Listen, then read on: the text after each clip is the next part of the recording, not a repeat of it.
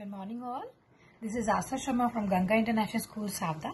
Dear students, today I am here for you to teach you English grammar and our topic is nouns or naming words. We can call them naming words also.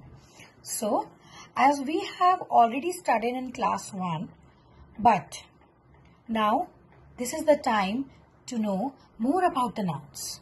So, come with me and let's learn about the nouns. Learn about the nouns or naming words. Dear students, everything in the world has a name. All names or naming words are nouns.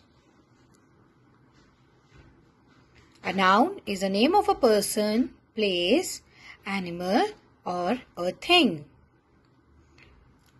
Look at the following sentence. Nikki and her dog are playing with football in the garden. Here, Nikki is a name of a person, garden is name of a place, dog is a name of an animal, and football is a name of a thing.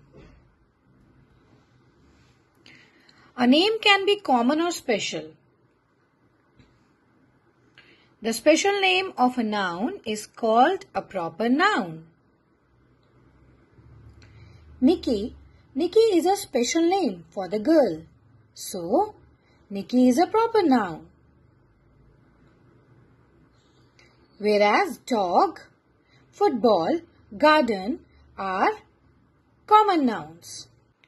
The special name that is the proper noun always begin with the capital letters. Thank you and have a nice day.